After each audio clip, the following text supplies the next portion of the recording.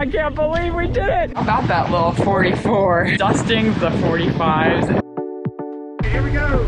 Concierge anchoring service. Just don't break this out anytime. Oh, it's a beautiful sunrise this morning. Our last one here in Raroia. We're off to Tahanea today. It's been a great stay, but we're really excited to move on to another place and get to see another atoll though it is a little bit stressful thinking about going through two passes, having to get to the passes in the first place, dodging bombies and all of that kind of stuff that goes along with it, but we'll figure it out. No problem with the bridle, no problem with the chain, and we are off and running. Good morning!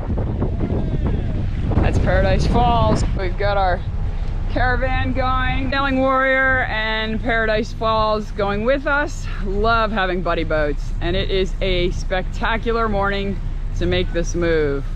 So the first obstacle other than the bombies that we need to miss is the pass. The water should be outflowing, but we wanna make sure it's not too fast. We're gonna just test it out when we get up there, see how strong it is and do our best. Our journey today takes us to Tahanea, another atoll.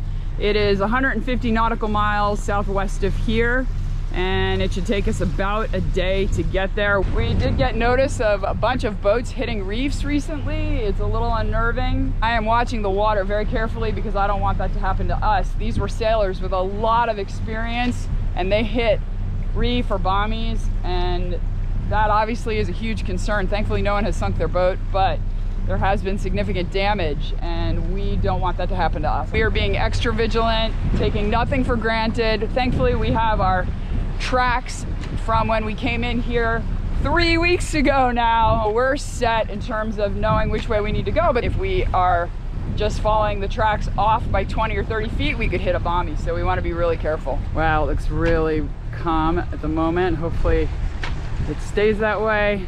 So far, no increase in speed. Still no increase? No increase.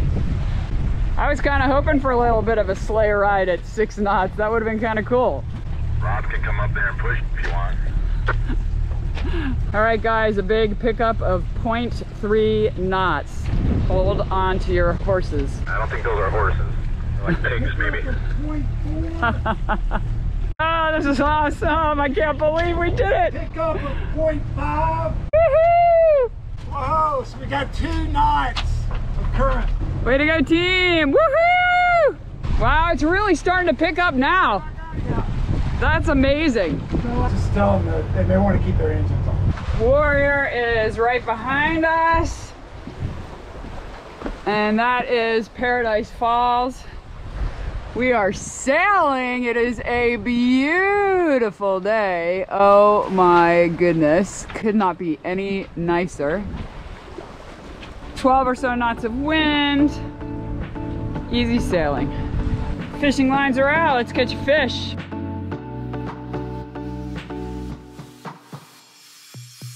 So it's really interesting.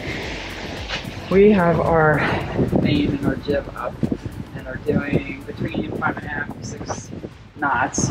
And we are traveling with two Leopard 45s and they have both had to drop their mains and one is putting up a parasail uh, because they're getting rocked by the swell. So how about that little 44 dusting the 45s and we're able to fly our main and our jib we're even reefed and we're still kicking butt so very happy about that i know these are fighting words so sorry leopard 45s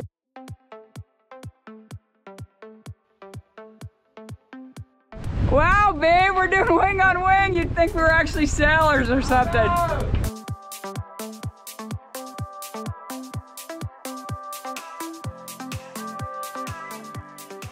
We've had a good sail all day, and now we've got some squalls here on the radar that are coming in. One is back there. Looks like it's gonna be coming in behind us. Hopefully it will, will miss us, it should. We are making good time.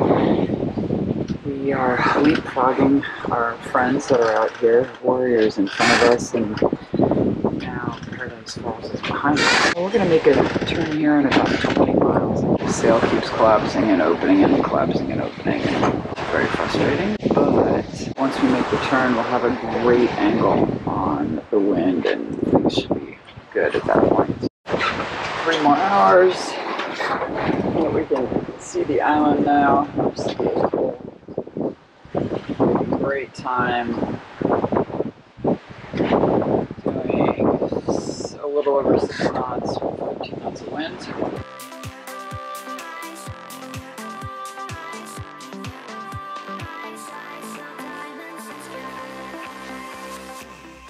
Wow, here we are, right outside of Tahanea. Waited for about two weeks for a weather window. And it's worth waiting for because it's a lot more pleasant. You get more sleep. You're not constantly on the boat working on the sails, worrying about the next time you're going to get hit. It's more relaxing. It's more predictable when you're going to get there. You use zero fuel. That's why we like to do it. These are just a few of the things that we think of when we're working on a weather window. People ask us, what's the worst weather that you've been in thinking that they're going to get like this big tale of surviving on the high seas and waves breaking over the boat? Let me tell you what, good thing is we're not on a schedule. That's where you get into problems where you have to go to meet somebody or whatever. We will always wait until we have a good weather window, and therefore we pretty much 95% sure that we're going to have a safe, comfortable passage. Now, if you don't learn weather and you just kind of go out and don't really treat it seriously, that's when you're going to run into problems. And fortunately, in the four years that we've done this, we've never been in any real scary weather. All right, here we go. Pass number two for entry, and we are hoping it's uh, supposed to be a 9:30 high tide. It is 9:20 right now, and we're hoping that the tide is out or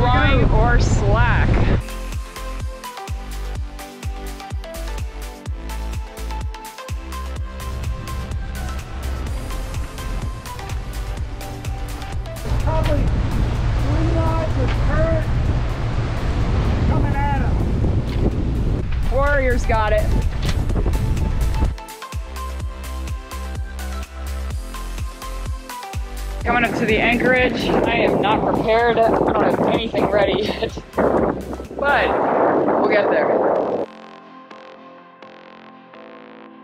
Anchor's down.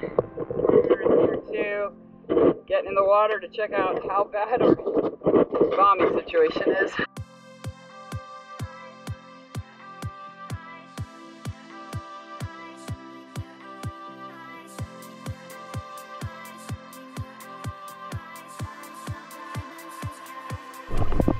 This thing? Being a cowboy. It's like having a breed calf and just pulling around, baby. Yeah. Oh, yeah. All right, we're gonna help Paradise Falls get their anchor down.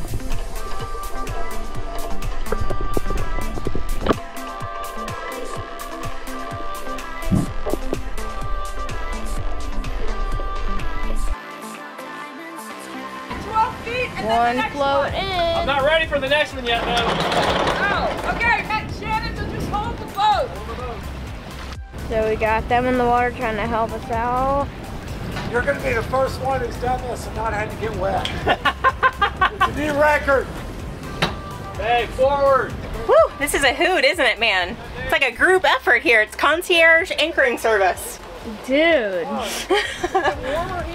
This anchoring is sponsored by Sailing Blown Away. It's a cheap little thing that's going to get edited anyway, but it makes me feel so good. After being at sea for 27 hours, it was great to get into the beautiful water and meet the underwater residents of Tahanea. The North Anchorage area is known to have some great snorkeling, and we definitely agree. And it's always fun to build memories with friends.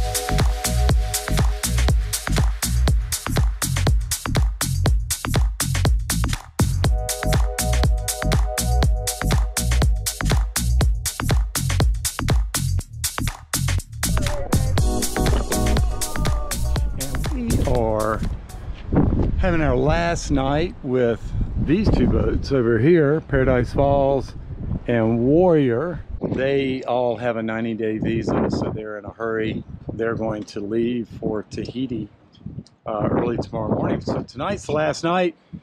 And to bring on the festive occasion, I have worn one of my many tuxedo t-shirts. Just don't break this out anytime, but only for special occasions, which tonight is. And we're gonna have dinner, a little Mexican food here, and it's beautiful. We're gonna watch the sunset there. We have the boat all cleaned up. It's a good thing we have company. It's the only time the boat gets. That's right. It's the only time the boat gets clean. So here's the lovely Admiral. I'm sad our friends are leaving. I know we are so sad. We've just had such a great time together. We've been together for like over a week now. So look how nice the table setting looks. And just this lifestyle never gets old. It's just fantastic. The views, the fresh air, nature, sunsets and sunrise, and it just is incredible. Thanks for following along. We love having you guys with us.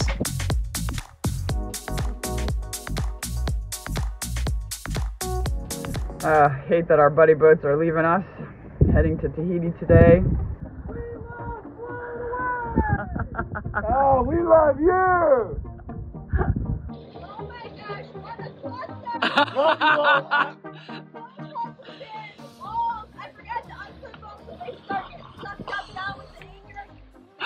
First time, first oh, oh, time. Well, it ends well.